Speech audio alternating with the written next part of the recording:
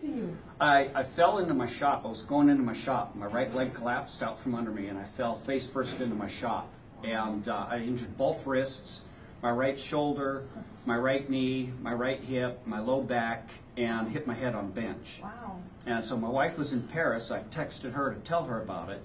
She texted Nathan, asked him to call and pray for me. So he called me on the phone and uh, prayed for me. And within five minutes, the Lord had healed me. The pain was completely gone in my body. Uh, it was it, very painful. It hurt to turn doorknobs. Oh, my goodness. Uh, very painful. Uh, where I hit my head, all the swelling went away. All I have left of the whole incident is a slight scratch in my scalp. That is Yeah, amazing. yeah, All the wonderful. pain left. All the pain. Wow. Yeah, I was able to go on about normal activities after the prayer. is, that's a miracle. It's a miracle. So what? How many items did God heal? What are they? Eight.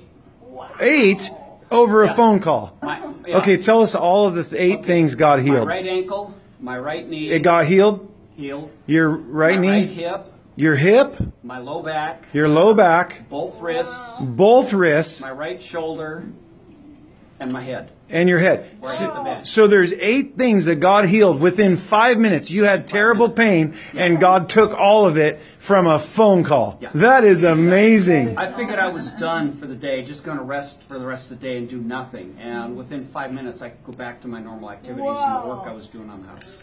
That is That's an wonderful. amazing story. That's Thank you for sharing that. Amen. Yes, praise